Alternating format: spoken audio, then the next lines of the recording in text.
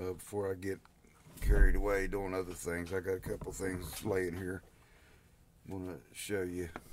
So this is going to be my metering valve that comes out of the bottom of the plate. There'll be a four inch, uh, inch and a quarter nipple coming out of the plate here, going into this T.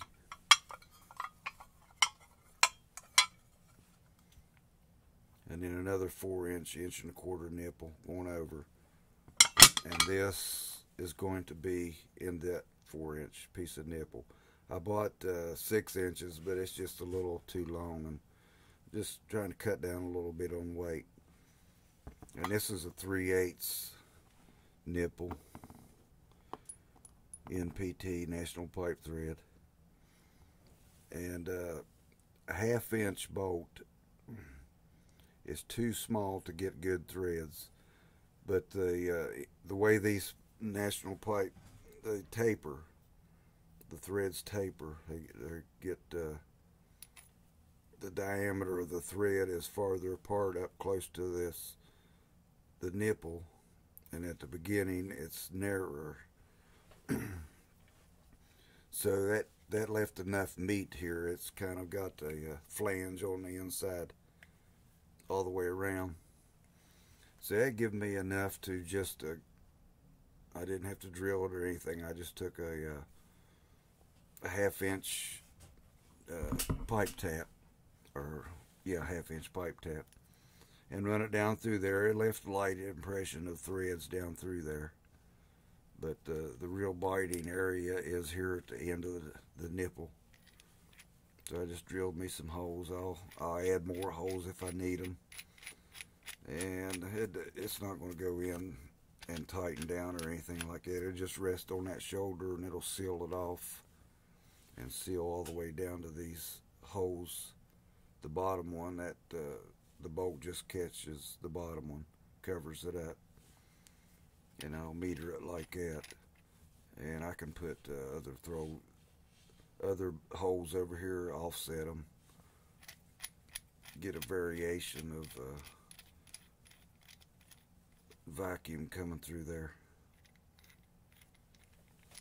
So that's what I'm going to do on that. And this nipple, I got a, plastic uh, plug, inch and a quarter plug. It's going to go up here to where I'll be able to drain my media. But it's got a hole wall in it, and I don't want uh, a lot of media laying down in there. So I've got uh, a, plastic coffee can lid. I cut it out, and I'm going to probably glue that on there. And by the time it goes up in there it's going to be uh, it's going to make the, uh, the vacuum effect better. I'm thinking it'll make it better when most of that bottom area is filled up. Uh, it's not a cavity it's more uh, filled in.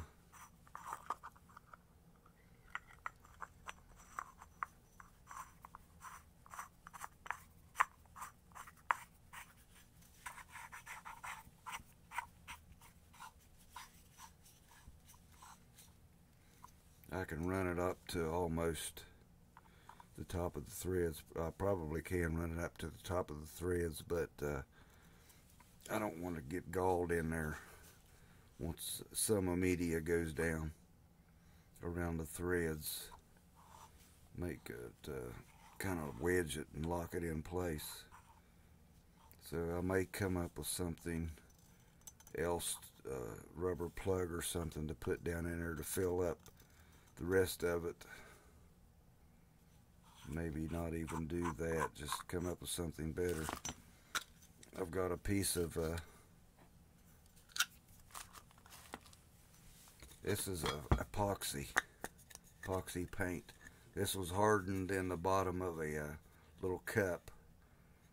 I was painting some stuff and left that much in there and it's it's pretty hard. So I may uh, cut that out and make a plug that fills up most of the area. It'll it'll go down in here and have a shoulder and rest on that. Fill up that area and try to fill most of this up to where that media will just fall down and uh, take less vacuum to pick it up. It's kind of a smooth transition. Of course, it's going to be filled out into the uh, horizontal four inch pipe. That media, the gravity, it'll just flow out in there. So speaking of epoxy, let see, am I zoomed in too much? I've got this, I'm going to paint the inside of the cabinet with this appliance epoxy paint. It's white, it's enamel epoxy. I've got the quart. And I've got a couple of the uh, spray cans 12 ounces. And I know this stuff is great because this is a guitar slide where you slide the strings. I've had it for 45 years it was always it wasn't chromed well it was barely chromed inside and it kept rusting and rusting and I got tired of it. And about 10 years ago, I sanded it down. I took some of this. I've got another old, real, real old can that I uh, sprayed inside. I don't. I lost you. I sprayed the inside of this slide, and it never. The rust never has come back. I've used it and used it. and it's been great. Took care of that problem. So, I mean, there's no abrasion or anything, just my finger that, but the rust has not come back through it. It's sealed up inside now. So I'm going to paint the inside of the cabinet, not the hopper. No point to it to lighten it up. Plus, uh, I'll have a layer of uh, epoxy, appliance epoxy on the inside of the cabinet. So it'll be brighter, more durable, it'll be smoother, and the media will flow better.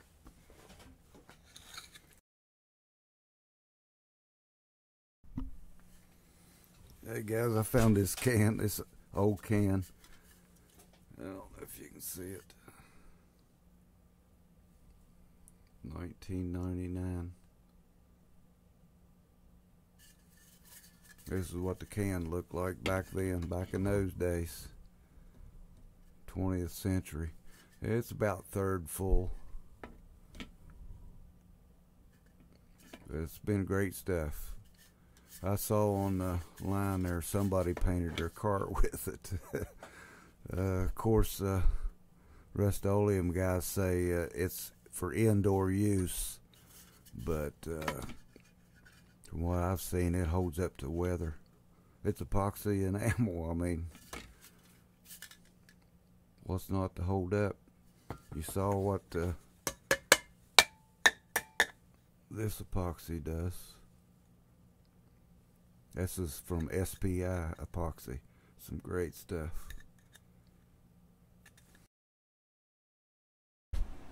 I'm uh, putting a light in this Harbor Freight uh, blast cabinet and I uh, just want to give a quick little tip anybody wanting to mount these little thin lights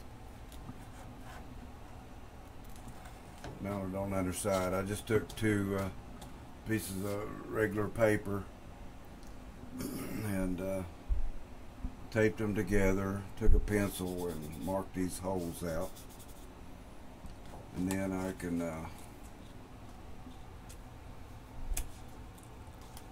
remove this tape.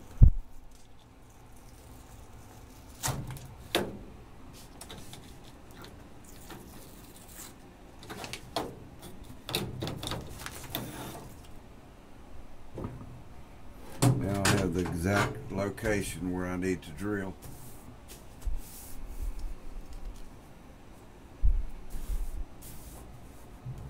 Have exactly where I want it. You can do the same thing if you're going to mount this underneath a cabinet. Just mark your holes out and uh, cut out ever how wide you need it. If excess paper gets in the way, just tape it up there and uh, drill your holes. And you always have exact location where you want it. So uh, just about got this cabinet done. I'm just touching up some things. I made a cart and paint's drying on it where I can uh, wheel it around if I need to and just uh, painting the corners there where I had this black